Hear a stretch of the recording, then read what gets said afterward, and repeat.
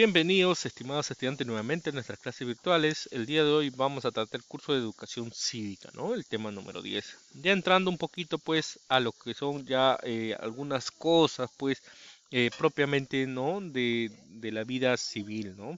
Vamos a hablar sobre los héroes civiles, los héroes militares y personajes ilustres, ¿no? Justamente hoy en estos tiempos, pues, de pandemia, hay algunos personajes ilustres, hay algunos héroes civiles, pues que eh, de cierta manera, pues no se les reconoce, ¿no?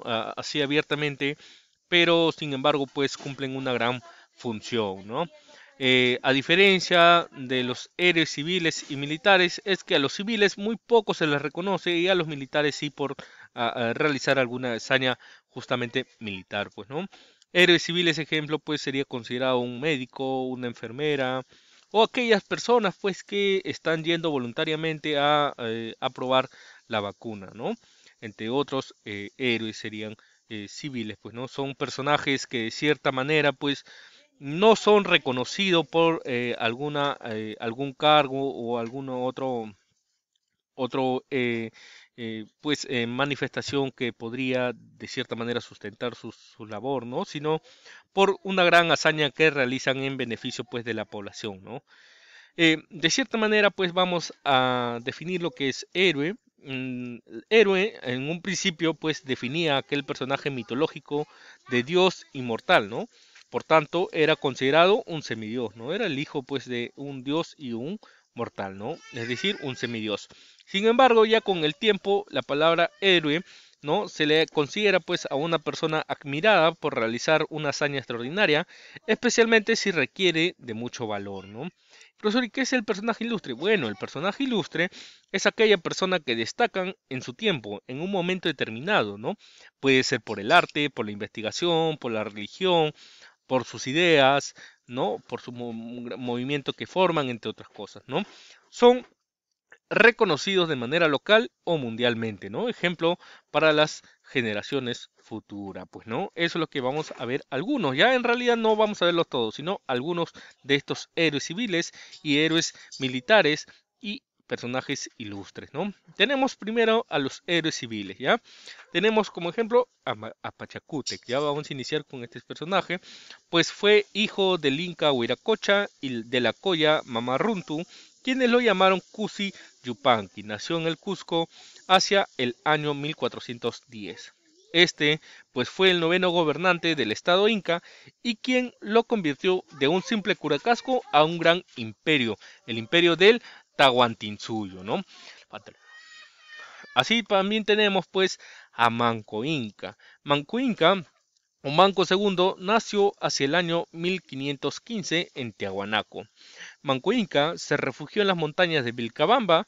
Desde ahí dirigió varios ataques contra los españoles y sus aliados. Murió en 1544 apuñalado por un grupo de almagristas a quien había dado refugio. La gran hazaña de Manco Inca pues, es el primer inca de la resistencia de Vilcabamba, resistencia de cierta manera pues que eh, tenía la intención pues de expulsar a los españoles del imperio incaico en la invasión pues española a América, ¿no? Eh, también tenemos pues al señor Tupac Amaru II, es pues eh, bastante conocido por ese nombre, pero en realidad su nombre es José Gabriel Condorcanqui Noruega quien encabezó el mayor movimiento de corte indigenista e independentista en el virreinato del Perú. Es un gran, un gran pues precursor pues de la independencia americana, ¿no? No solamente del Perú, sino americana, ¿ya?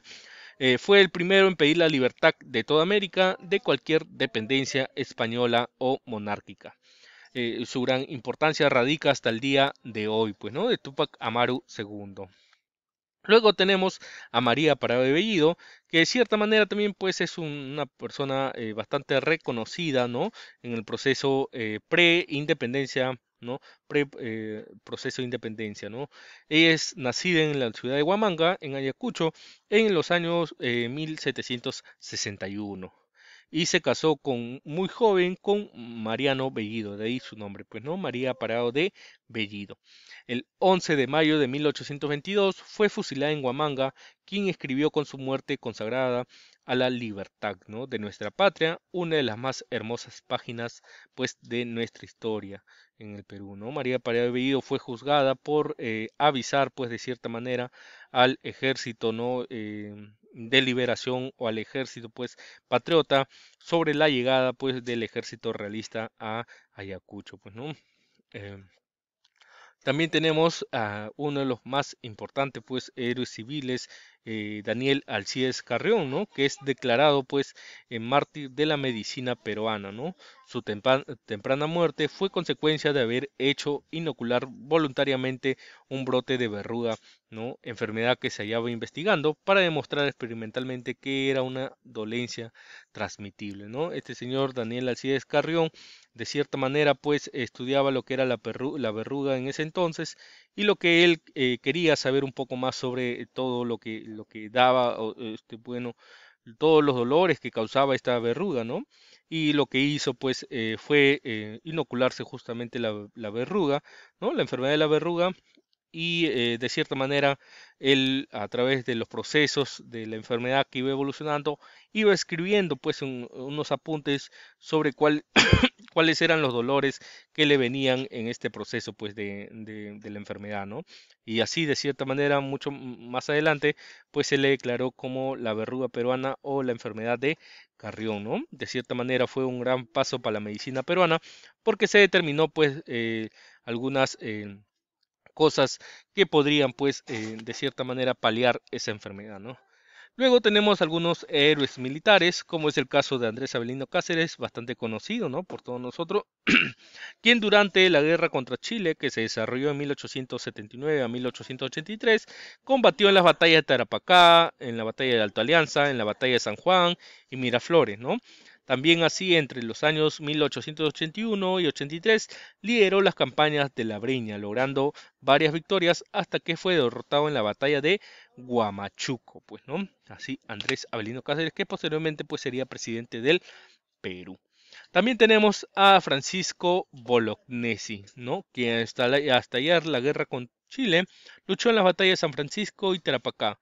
Cuando los mensajeros de Chile exigieron la rendición de Arica, debido a su enorme diferencia numérica de soldados, armamento y logística, él respondió con las siguientes palabras. Tengo deberes sagrados que cumplir y los cumpliré hasta quemar el último cartucho. Es bastante reconocido por esas palabras. Luego tenemos a Miguel Grau Seminario, ¿no? que en el año 1868 recibió el mando del buque Huáscar y en 1876 fue elegido diputado porción de Paita. ¿no?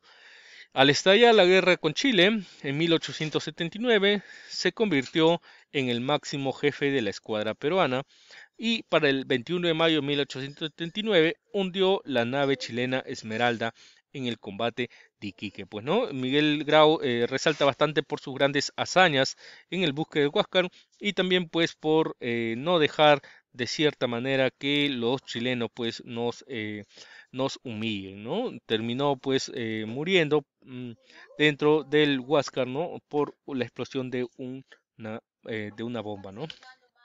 También tenemos a José Abelardo Quiñones, aquel personaje pues que aparece en el billete de los 10 soles, ¿no? José Abelardo Quiñones nació en Chiclayo el 22 de abril de 1914 y es el máximo héroe de la guerra contra el Ecuador que explosionó en 1941.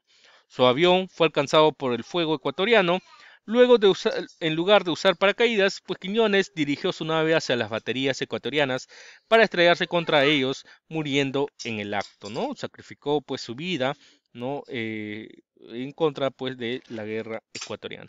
Y también pues tenemos a Pedro Ruiz Gallo, que fue un militar e inventor peruano, aunque también se le desempeñó como mecánico, músico, pintor, investigador, médico y explorador, considerado uno de los precursores de la aeronáutica moderna y patrono del arma de la ingeniería del ejército peruano. Señor Pedro Luis Gallo, al ver pues em, de que de cierta manera los chilenos tenían dominio en el mar, ¿no? Y habían eh, capturado al Huáscar, lo que hizo pues eh, es eh, hacer investigaciones en cuanto a la aeronáutica, ¿no? para construir de cierta manera algunos barcos o algunos navíos que permitieran pues hacer frente a la guerra con Chile, ¿no? Sin embargo, en uno de sus experimentos de las naves, ¿no? De los navíos, explosionó y murió también pues en el acto, ¿no? en cuanto a los personajes ilustres, también vamos a hablar de cinco, muy importante. Tenemos al señor José Carlos Mariatti, quien nació en Moquegua el 14 de junio de 1894. Fue un escritor, periodista y pensador político marxista peruano.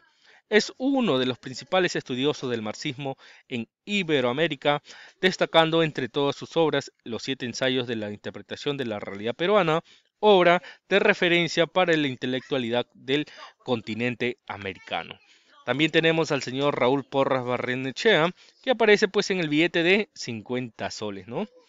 Eh, nació en Pisco el 23 de marzo de 1897, fue un notable historiador, ensayista, diplomático y político peruano, en 1919 participa en la reforma universitaria de San Marcos y funda el conversatorio pues, universitario que acapara uno de los grandes eh, pues, centros de intelectualidad eh, juvenil en ese entonces. Pues, ¿no? También tenemos a la señora Clorinda Mato de Turner, quien fue defensora de sus raíces, escritora y periodista. Algunas de sus obras pues eh, sintetiza pues en Abre sin nidos, ¿no? Algunas de sus ideas también. Quien se volcó al periodismo guiada por su maestro Ricardo Palma y escribió en El Heraldo, El Mercurio, El Ferrocarril y El Eco de los Andes, ¿no? También tenemos a un gran personaje ilustre, quien pues es César Vallejo, ¿no? Es el más grande poeta peruano del siglo XX, nació en las ciudades de Santiago de Chuco el 16 de marzo de 1892. destacó por su obra, eh, por su gran obra poética, siendo sus principales obras pues Los Heraldos Negros, Trilce, España, parte de mi este cáliz y poemas humanos, ¿no? Y por último pues tenemos a Flora Tristán, pues, ¿no? Quien emprendió una campaña a favor de la emancipación de la mujer, en contra de la pena capital y por los derechos de los trabajadores, abogando por su organización y unidad universal. El propio Carlos Marx ¿no? la elogió como la precursora de altos ideales nobles. Bueno, así tenemos pues el tema de hoy. Eh, tenemos algunas actividades, eh, bastante, una actividad con tres puntos, ¿no? en la cual ustedes pues tienen que mm, resolver de acuerdo a sus criterios y sus eh, y sus pensamientos, ¿no? Que, que en la ¿Crees tú que en la actualidad existen héroes y personajes ilustres en el Perú? ¿no? Eh, fundamenta en realidad, no sí o no, no solamente eso, no, sino fundamenta. El otro es, ¿es importante la existencia de estos personajes? ¿Por qué es importante valorar a nuestros héroes nacionales en la actualidad? Bueno, esas tres preguntitas pues habrá que resolverlas, ¿no? Bueno, estimados estudiantes, eso ha sido todo por hoy. Nos encontramos en una próxima sesión de Educación Cívica. Hasta pronto.